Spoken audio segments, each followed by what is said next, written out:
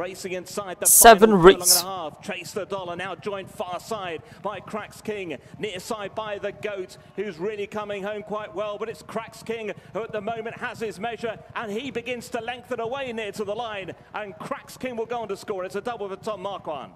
Cracksking the winner. The goat in second, then Chase the dollar. Clear from Selwan. For far hurdles, and Hope Party Horse number 5, Old 1 in first, number 6, Old 5 in second, number 7, Old 15 third, number 10, Old Chono 9 in fourth, 1, H 9 in 2. Thank you guys.